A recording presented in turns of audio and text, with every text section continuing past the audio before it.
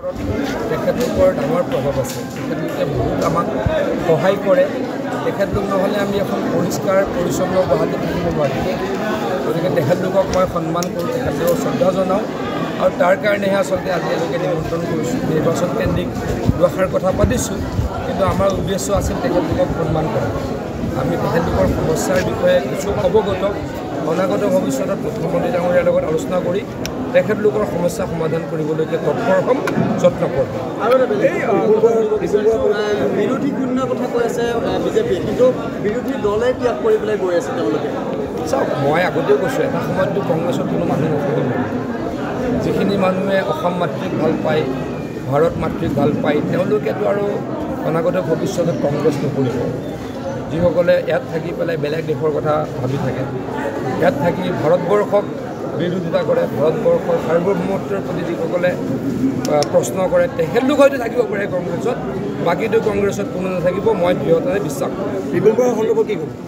ৰিপুণ বৰা ডাঙৰীয়াক ইমান বেয়াকৈ অপমান কৰিলে আৰু ষড়যন্ত্ৰ কৰি ইলেকশ্যন এটা হৰুৱালে এনেকুৱা খেলে কেতিয়াও হ'ব নাপায়। মানে কি হৈছে যে এটা এলায়েন্স পাৰ্টি মানে তেখেতলোকৰতো এটা এনেকুৱা এটা আছেই। ইউ ডি এফক কেতিয়াবা ল'ব কেতিয়াবা গোৰ মাৰিব তেনেকুৱা আছেই। কিন্তু ইলেকশ্যনত একেলগে খেলিলে। একেলগে ৰাজ্যসভাৰ নিৰ্বাচন ইলেকশ্যন খেলিলে। ইলেকশ্যন হোৱা নাই। ইলেকশ্যনৰ দুদিনৰ আগত ইমান বেয়াকৈ ভূপেন বৰা ডাঙৰীয়াই এটা পাৰ্টিক গালি পাৰিলে। মানে ইমান ডাঙৰকৈ ষড়যন্ত্ৰ এটা কৰিলে ৰিপুণ বৰা ডাঙৰীয়াক হৰুৱাবলৈ। তাৰ পাছতে ৰিপুণ বৰাই যে এই দল ত্যাগ কৰিব আমাৰ মুখে আমি সকলোৱে শুনিছিলোঁ। আমি সকলোৱে শুনিছিলোঁৱেই। গতিকে তাৰ ফলটো কংগ্ৰেছে ৰিপুণ বৰাক যি অন্যায় কৰিছে। কংগ্ৰেছতকৈ আমি ভূপেন বৰা বুলি ক'ম।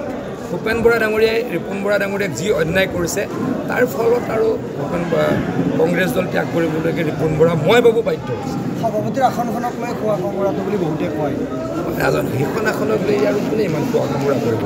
শাৰী শাৰী ৰেকৰ্ড গৈছে প্ৰদেশ কংগ্ৰেছৰ সভাপতি হ'বলৈ কোনোবা অলপ দিন পাছত মানুহে নিবিচৰাই হ'ব। তেখেতলোকৰ ডাঙৰ প্ৰভাৱ আছে। তেখেতলোকে বহুত আমাক সহায় কৰে। তেখেতলোক নহ'লে আমি এখন পৰিষ্কাৰ পৰিচ্ছন্ন গুৱাহাটীত থাকিব নোৱাৰিম। গতিকে তেখেতলোকক মই সন্মান কৰোঁ তেখেতলোকক শ্ৰদ্ধা জনাওঁ। আৰু তাৰ কাৰণেহে আচলতে আজি এওঁলোকে নিমন্ত্ৰণ কৰিছোঁ। নিৰ্বাচন কেন্দ্ৰিক দুআষাৰ কথা পাতিছোঁ। কিন্তু আমাৰ উদ্দেশ্য আছিল তেখেতলোকক সন্মান কৰা। আমি তেখেতলোকৰ সমস্যাৰ বিষয়ে কিছু অৱগত অনাগত ভৱিষ্যতত মুখ্যমন্ত্ৰী ডাঙৰীয়াৰ লগত আলোচনা কৰি তেখেতলোকৰ সমস্যা সমাধান কৰিবলৈকে তৎপৰ হ'ম যত্ন কৰিম আৰু এটা বিৰোধী শূন্য কথা কৈ আছে বিজেপিয়ে কিন্তু বিৰোধী দলে ত্যাগ কৰি পেলাই গৈ আছে তেওঁলোকে। চাওক মই আগতেও কৈছোঁ এটা সময়ততো কংগ্ৰেছত কোনো মানুহ নাথাকিব। যিখিনি মানুহে অসম মাতৃক ভাল পায় ভাৰত মাতৃক ভাল পায় তেওঁলোকেতো আৰু অনাগত ভৱিষ্যতত কংগ্ৰেছ নকৰিব। যিসকলে ইয়াত থাকি পেলাই বেলেগ দেশৰ কথা ভাবি থাকে ইয়াত থাকি ভাৰতবৰ্ষক বিৰোধিতা কৰে ভাৰতবৰ্ষৰ সাৰ্বভৌমত্বৰ প্ৰতি যিসকলে প্ৰশ্ন কৰে তেখেতলোক হয়তো থাকিব পাৰে কংগ্ৰেছত বাকীটো কংগ্ৰেছত কোনো নাথাকিব মই দৃঢ়তাৰে বিশ্বাস কৰোঁ। বিপুল বৰা সন্দৰ্ভত কি ক'ব? ৰিপুণ বৰা ডাঙৰীয়াক ইমান বেয়াকৈ অপমান কৰিলে আৰু ষড়যন্ত্ৰ কৰি ইলেকশ্যন এটা হৰুৱালে এনেকুৱা খেলে কেতিয়াও হ'ব নাপায়। মানে কি হৈছে যে এটা এলায়েন্স পাৰ্টি মানে তেখেতলোকৰতো এটা এনেকুৱা এটা আছেই। ইউ ডি এফক কেতিয়াবা ল'ব কেতিয়াবা গোৰ মাৰিব তেনেকুৱা আছেই। কিন্তু ইলেকশ্যনত একেলগে খেলিলে। একেলগে ৰাজ্যসভাৰ নিৰ্বাচন ইলেকশ্যন খেলিলে। ইলেকশ্যন হোৱা নাই। ইলেকশ্যনৰ দুদিনৰ আগত ইমান বেয়াকৈ ভূপেন বৰা ডাঙৰীয়াই এটা পাৰ্টিক গালি পাৰিলে। মানে ইমান ডাঙৰকৈ ষড়যন্ত্ৰ এটা কৰিলে ৰিপুণ বৰা ডাঙৰীয়াক হৰুৱাবলৈ তাৰ পাছতে ৰিপুণ বৰাই যে এই দল ত্যাগ কৰিব আমাৰ মুখে আমি সকলোৱে শুনিছিলোঁ আমি সকলোৱে শুনিছিলোঁৱেই।